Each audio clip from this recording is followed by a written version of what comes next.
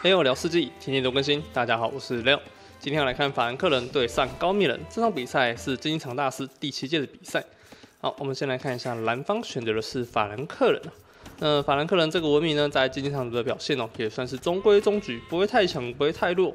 那这是归功于它的科技线都是全满的，而且还有这个城堡造价很便宜的一个优势。而且后期还有一九二游侠可以打，而且也有这个超强骑兵哦可以使用。也不算超强，就是正常的骑兵哦。那法兰克人的话，他的打法也是蛮多变的，不止可以打火枪啊、直斧走、游侠，还有骑兵哦。但是他落马系会有点弱一点。到了帝王时代后期哦，他这个轻骑兵的血量哦，甚至会比一般有品种的文明的骑兵还要更烂一点点。这是玩法兰克人需要后期注意的事情好，接下来我们来看一下高面人。高面人的话，它的最大特色是这个农田采集时候有这个异次元农田。那这个异次元农田呢，可以让它不用把这个食物采集到的这个农作物放到这个 TC 里啊，城镇中心里跟这个模仿里啊，所以让它的这个食物资源采集量会非常的快速。但是子线农田哦，像是这个果子的肉啊，或者是这个采到鹿肉啊、绵羊的肉，都还是要放到这个城镇中心里的。好，这个需要注意一点。那高密人的话，因为有这个效果的关系哦，所以他非常适合打这个骑兵豹，不管是打这个落马，或是打这个重装骑士哦，或者是大象，都是非常适合他的。但是他到了大后期的时候，会非常缺乏科技的关系哦，导致后期很容易被翻盘了。例如高面没有这个火炮的关系哦，所以对方可以出些投石车啊，或者是弩炮，做个针对的动作，会比较麻烦一点。好，那高面的话会比较建议哦。在城堡时代的中期或者是帝王初期哦，跟对方决一胜负，越拖后期越没有希望。好，接下来我们来看一下两边的一个打法吧。那这场比赛是道特对上 Jordan，这两位选手呢也说是非常老练的了。Jordan 可能比较年轻一点，道特的话算是我们的世纪帝国的最年迈的职业选手了，对吧？我们都称他为爷爷，所以我们看到道特他出现了奇怪的盖城堡方式，我们都会称为道特堡。啊。因为他常常都拉了很少的村民哦去盖城堡，然后结果城堡每次都盖不起来啊，这时候就会称为道特堡。那也有观众有也有一些观众跟主播呢会把它称为爷爷堡哦，其实都可以的。好，那稍微来看一下这边生物的分布，由于是比赛地图关系哦，所以生物分布算是比较平均点的。但是竞技场依然是五生物的关系哦，所以有一个总是会比较。放在中间一点，但是这个放在中间一点，这个生物呢会离一个玩家会比较近哦，算没法达成非常平衡的一个一个细节吧啊，但是并不是靠得近就一定会拿到啊，这个也是要看玩家们的争夺生物的技巧。好，那这边 Jordan 是选择了二十四 P，好点下封建时代，道特这边是选择了二十五 P，啊，这个二十五 P 是比较轻松一点的，比较不会有这个资源太紧迫的问题。那我个人是比较建议像道特一样，二十五批再点就好了。因为二十四 P 的话，你的资源会非常吃紧哦。你只要没有食物加成啊，或者是一些经济加成状况下，你是很难在二十四 P 上封建时代之后，马上要盖下兵工厂跟市集，然后去点城镇中，去点这个城堡时代升级哦。那高明这个文明更是特殊，它甚至可以二十三 P 点哦，点这个封建时代哦。因为主要是因为它不需要任何的。时代升级建筑物就可以点城堡时代了，你看它并有下四级跟城跟四级跟兵工厂，就可以直接点城堡，所以我觉得二三二四批都算是蛮适合高面的一个哦上批批数的一个打法。那建议呢还是竞技场这样打啊，千万不要什么你玩阿拉伯，然后二三批，然后没有围死，然后让敌人落进来，然后上城堡时代，绝对会上城堡上到头破血流的啊。这个要特别补充一下，只有竞技场才可以这样打。好，那法兰克人很是标准的二十七 P 点下了城堡时代，但这边时代优势还是有高棉获得胜利哦。这就是为什么高棉在城堡时代跟帝王时代初期很有优势原因，就是这样子，它前期是非常强大的。好，那法兰克人这边血量只有四滴血啊，看一下这轻骑兵血量六十滴血，还没有点品种。那法兰克边这边只要一点一下轻骑兵的话，就可以先打赢没有品种的高密人的轻骑兵了。所以到头这边可以尽可能哦去按下更多的落马，但是自己村民也不能断了，而且 TC 也要盖下去。待会 TC 盖好还要挪出一些肉量哦，去给自己的村民哦。所以这边要可能适时的去断村哦，然后去硬点这个品种会比较好一点。我是说高敏这边啊，因为高敏这边也是开下第二个 TC 哦。那这边高冕确实是按下了五只轻骑兵，没有要开打啊。通常要开打前才会去点这个品种。好，这个时间点如果撞到的话，可能就有点想要正面开打喽，因为待会他的僧侣出来会去拉这个啊轻骑兵去补血的哈，血量尽量保持全满状态哦，万准备好万全准备哦，跟对方一决实战是比较好的。那有些打法比较特别，是会按按这个长枪兵去打的，当然这个打法比较适合哥德人啊，或是步兵国家，像是日本啊、维京之类的。那正常的马国可以适合出马国的国家，还是用这个轻骑兵做个对抗的。好，我们这边看到两边轻骑兵都在勾心斗角，你想要打我，我也想打你。但是高明有这个品种可以点的关系哦，所以还是要等一下品种比较好。好，但是这边出现一个失误，虽然招降到对方的轻骑兵，但是来不及直接逃跑。久等这边直接上去了硬砍，那一砍结果是由高明这边获得了一些些许的优势。好，数量碾压。好，那血量上来说还是比较差一点好，这边是七十二滴血打七十二滴，哎，这个是遭到的，好，不好意思，六十滴血啊，血量多十二滴血还是有差的。那这边数量依旧不够的关系，还是被压了回去。但是刀头这边是已经开出了三 TC 了，开农的关系，所以数量上会少。那高明这边是地上 TC 开的比较慢啊，所以打出了一点优势来。好，那目前看起来高冕的打法走向算是一个战场捡生物的路线了，生物也捡的差不多了哈。目前是确定三个生物应该是没有问题了，第三个生物也是捡走，上面这个生物也没有法兰克的轻骑兵在上面做守守生物的动作，所以这个没什么太大问题。久等这边打出了相当大的优势。好，这里那顺带补充一个东西哦，就是这边你已经看到你已经打赢圣物的争夺战时候。品种就先不用那么在意点了，而是你可以先去点的手推车啊，跟人走技术，还有二技能，哦，这个是更重要的一个细节，甚至补下第四个 TC，哦，没错，就是这样子，哦，尽可能的要让你的经济再更好一点，因为这个时期的品种就不怎么重要了，因为你的生物确实已经拿到了这么多个，怎么会有四个？哇，Jordan 居然是拿四个，不是三个，原来是我看错了啊。OK，Jordan 这边生物优势非常巨大，所以。道头这边你是直接放弃了，没有想要出更多轻骑兵的原因就是这样子。好，那这有可能是个魔咒。Jordan 觉得自己已经打赢四生物，可以不需要这么激进了。那刀头这边只拿到一个生物，是否可以翻牌后翻盘这个后期呢？这就要来看一下旧人这边能不能反打回去了。好，这边先点一下跑速还不错，哇，先点跑速。可以有效的去控好自己的兵哦，瞬间可以拉开距离啊，再回去打一下啊。但这边再次招降了一下对方轻骑兵，啊，跑速已经好了。这 TC 盖的有点慢啊，我们继续加速一下，先跳过车模时代中期。好，那目前看到 Jordan 在前线哦，按下了一个工程器制造所。到头这边拉了四五只的轻骑兵到后方，直接把他的胜率全部砍掉。，Jordan 的四只胜率直接倒在地上。那目前虽然法兰克人有打掉四只僧侣，但是实际的数量是不敌对方高明的轻骑兵数量。后面补下了更多长枪兵出来，想要来应解对方的轻骑兵，效果其实还不错。虽然没有变成重装长枪兵，但是依旧还是 counter 对方轻骑兵的。所以目前数量有点持平状态。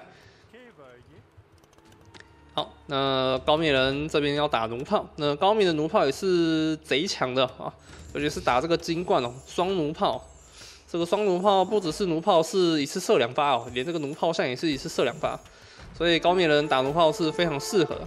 但是法兰克人有投掷车跟火炮的因素，所以到第五时代弩炮可能没法成为主力哦，这个是高明人需要注意的一个点哦。呃，这边就人想要骗对方打城堡时代哦，欧印一波之类的。但道特这里没有想理他的意思，继续爆他的村民，待会要补下这个帝王时代。那道特这边可能会先补下帝王时代，再补下手推车。手推车会比较建议这样子点，因为有些玩家可能会先点手推车，再点帝王时代。但是以竞技场这个地图来说，我还是比较推荐先点帝王时代，再点手推车的哈。这个还是有蛮大差别的。好，那法兰克这一根城堡盖在了偏外侧的位置，虽然没有离开城门外，但这里有点尴尬之处，就是如果巨型投石机在这个位置的情况下，啊，它的巨头会很好轻松打，哎，这要怎么讲呢？火炮的话可以占这个位置哦，刚好反击。但是也有可能火炮会因为这个距离的关系哦，而硬生生被拉出门外啊。这个是道特待会要需要注意的事情。啊，这个有可能不会发生，这是我多讲的啊。因为你们有在打实战玩家都知道，如果巨头架在这个位置啊，进行攻城，你的火炮刚好在这个位置，是有可能因为最远距离关系哦，直接走到城门外，然后走出去，然后这边开炮的。好，这边法兰克人点下了重装长枪兵的升级，地用时代来到了两分二十一秒，高明只剩下一分钟就升到地用时代了。呃，这边高冕目前打法是要转出弩炮像的样子哦，开始按出了一些弩炮像。那弩炮像这个单位是很害怕对方骑兵单位跟游侠单位的，但如果数量一多情况下，甚至连游侠都可以串刷掉的。所以像高明的目标就是要爆出更多的弩像炮，所以这边就补洞的城堡在里面，想要尽可能保存城堡的数量，而没有把城堡盖在前线，让对方可以最近投十一出来，就跟对方他的城堡互砸。这就是如果你要打城堡兵种时候注意的细节城堡不要盖在太外面，太容易被对方攻击啊。好，这边弩炮直接串烧，打掉了一些血量，但还好骑兵的机动性够好，只有少量的单位被打而已。法兰克人这边转出了步兵系哦，护卫基数、鳞甲基数都一一点下。好，呃，刚刚开头提到这个法兰克人打步兵系是没什么问题的。甚至我很推荐大家玩这个一九二游侠，同时哦配着骑兵打，这个杀伤力非常十足。对方不管是出骆驼啊，或者出重装骑士哦，跟你互打情况下，你只要游侠配骑兵哦，是一个很好解的组合。好，法兰克人慢慢陆陆续续点点出了二级一方，那游侠部分科技也没有先点，反而是先点一下了中型投石车的升级。那他有可能是看到对方出弩像炮的关系吗？我看一下，他弩像炮也没有露出来，难道是因为看到弩炮的关系吗？啊，我不太确定啊。他这边出中头是想要砸什么？可能是预判啊。预判的话，这个预判是非常好的，因为如果高明出弩炮像的话，是很容易被中头给打回去的。因为现在的中头呢，打对方弩炮像会有外增伤哦。因为弩炮像在上次的大改版之中获得了胡斯派战车的铠甲。那或者这个铠甲之后遇到投石车硬砸的情况下，会多多大概十几滴的伤害吧，哈，还是二十几，有点忘记哈，反正就是会额外伤害增加的关系，所以弩炮像现在是有点被 nerf 了，哦，没有像以前那么能扛对方的中头了。好，法兰克人这边长枪兵数量越来越多，骑兵也补下，火枪也补了，这个化学应该可是要出点火枪，不然就是要来增加一下。哎，这边看一下，僧侣没有点神圣思想，三十滴血，两刀砍死一只僧侣，相当快速，应该可以招到一只轻骑兵。OK，一百六十肉换三百金，这个交换并不亏。九等这边轻骑兵打的不错，但正面这个劫会有点困难，因为帝王时代的高棉是没有火炮的，要来打这个中投或者是中这个投石机都很困难。你要靠自己的肉马，或者是自己的出头车去对跟对方互砸，才有机会砸掉。不然就是用这个巨型投石机。好，拖车顺便顺利的砸掉对方巨头。呃，这个工程器制造所可能要赶快先拆掉，不然又会继续被偷偷砸掉。好，赶快砸，赶快砸。OK，法兰克人这边意识到这个工程器制造所的威胁性了。那这边高敏可看要不要先 delete 掉了，这个不要再制造比较好。不然这个一造出来啊，可能只能砸这个骑兵啊，这个头车中头绝对是砸不掉的，血量完全是可以撑过一发轻头的伤害的。两台就不好说了，但这的速度只能造成一台，只能造一台。好，这一台出来直接砸轻骑兵，没有第时间回头砸。OK，砸了一下，直接擦偏球，大家没什么受到血量降低，哎呀，可惜了。就往这边补下了品种，还有骑兵的铠甲，还是要转一些肉马去打。好，法兰克人这里慢慢补下了骑兵的攻击，还有步兵的攻击，这里也剩了重装骑士。看来依旧还是要走回老本哦，这个游侠路线。好，呃，高面则是点下双剑弩，好，双弩箭才对哈。那待会弩炮呢，跟这个弩炮像就会变成两发的伤害，伤害非常十足。哎，目前有点看不太出来哦，这两边的一个想法。因为目前法兰克是想要走游侠，但他这个游侠路线很有可能会被弩炮给串烧掉，还有这个枪兵哦，但也不确定哦，这个高敏的计划会不会得逞？因为我觉得除了弩炮像之外哦，尽可能再出一点弩炮会比较好，因为弩炮的本身射程是比较远的哦，八射程。好，那这边补一下工程工程师，这边弩炮上也会再增加一点射程，这个是打弩炮像的一个细节。好，再来看一下这边中头砸下去，弩炮像直接瞬间快要半血，哇，这个就是获得虎斯派战车装甲之后的一个威慑力啊！好，你看这边串烧疾病效果其实并没有非常美好。所以我觉得还是要加点重型弩炮在后面哦，输出会好一些些。但是法兰克人这边刚刚已经点下了化学，随时可以转出火炮出来的。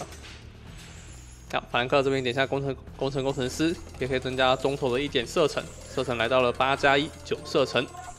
弩炮上则是只有六射程而已，这个手非常短。弩炮则是有九射程，可以跟对方中投互投，但是依旧没有优势的。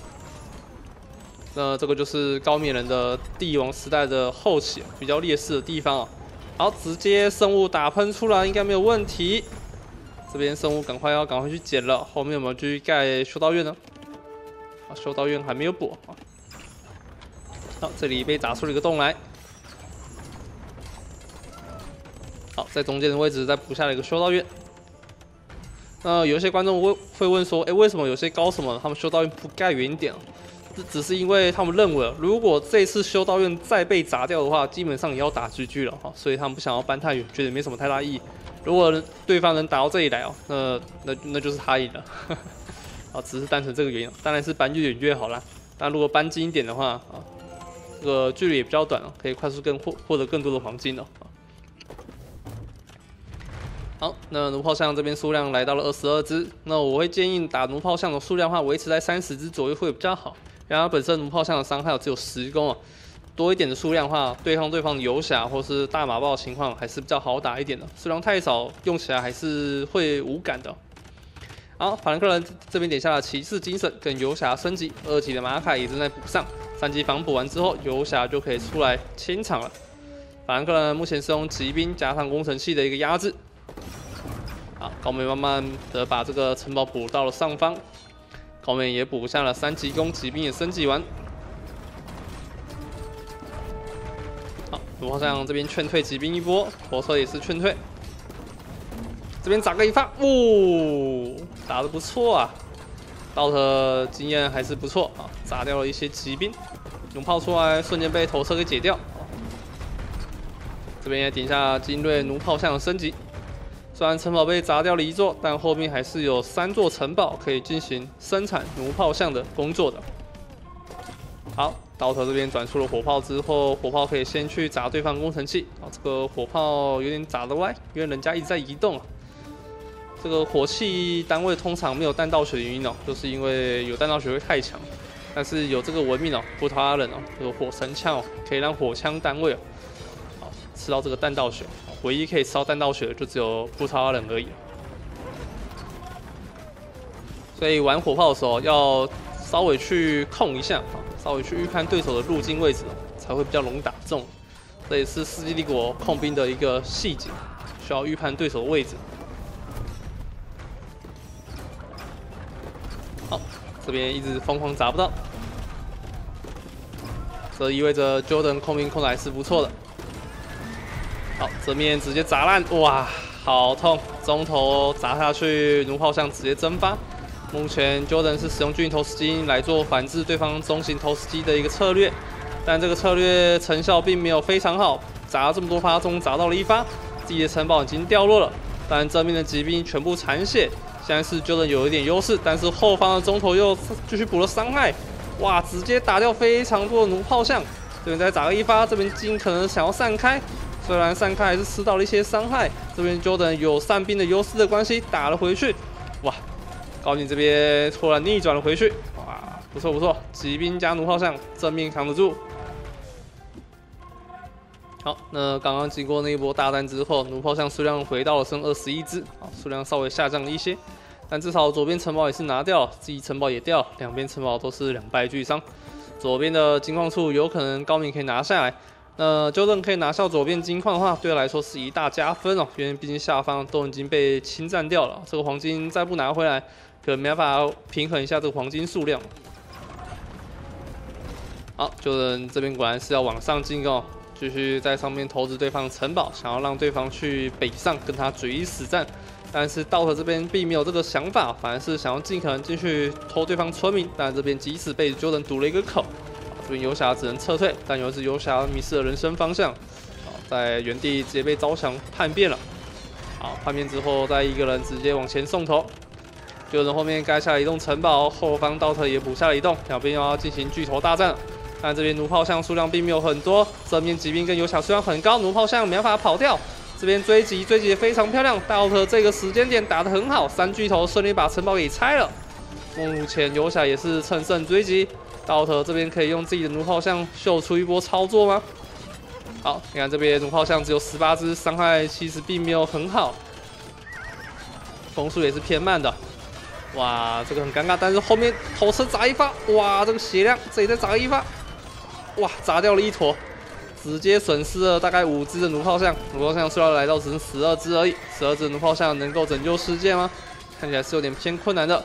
那这边游侠继续往前，哎，有骑兵也是往前送，上方的金矿处也是被骚扰到久等的上方金矿也要被拆掉，这面的黄金矿也要被法兰克道特这边夺回去，就这边一次损失两边金矿，而且前线的这个小金矿也是没办法继续采了，目前道特会有断金的危险，法兰克人这边黄金数非常多，有五千多黄金，还有两千多肉，就算这边全出游侠，也可以硬生生的把中路给换死。但是由于他们有五生物的关系，所以这边还是要打的小心翼翼一点啊，尽可能用这个投石机换到更多的优势出来。好，这边骑兵硬戳可以戳到一台巨投石机没问题。OK OK，哦，这个砸一发，哦，有点大碗。好，直接残血的骑兵再用剩下的骑兵伤害去戳一戳，通常都可以戳得掉的。这些弩炮像一直往后走，就是因为投石机的关系啊。好。那目前看起来，道特压制力还是非常强大。道特让 Jordan 打出了绝绝，哇，看起来这个 Jordan 打的非常极限。道特后方的巨型投石机加加上中投给的压力实在太大，而且黄金都控的非常好，该控都有控到，所有的黄金矿都把它控得一干二净哦。这一张图感觉有点是 Jordan 的图不太好的关系哦。然后你看这个金矿处也是被压在这个地方。那除了图不好之外呢？那我觉得这也是文明上的问题啊。毕竟高棉的这个文明后期版就不是非常强，它的精华时期就是城堡时代跟地初那段时间，让对方法兰克人拼到这个地后时期，科技几乎是满的情况下，游侠也出来了，就可能在翻盘了啊。毕竟人家有火炮啊、中投、投石机什么都有啊，你不管出巨头啊、弩炮啊，都有可能被对方火炮给打回去哦。这就是高棉的后期难玩之处。好，我们来看看经济。经济的话，应该是高棉会赢一个食物的采采集量。哦，果然，因为这个高棉采集量食物是非常多的，但法兰克人的木头跟黄金一定是会赢一些些的，因为这个黄金量，道特这边控了非常多的野金啊，石头的部分也是哦。虽然有四生物的加持，但依旧抵不过法兰克人控金的优势哦。那这个就是法兰克人在竞技场面的一个。很强大、很强大的地方，城堡太平哦，想插哪就插哪，哦，控图相当方便的。好啦，那今天影片就差不多就到这。那如果喜欢这支影片，请记得帮我下订阅，我们就下次再见喽，各位拜拜。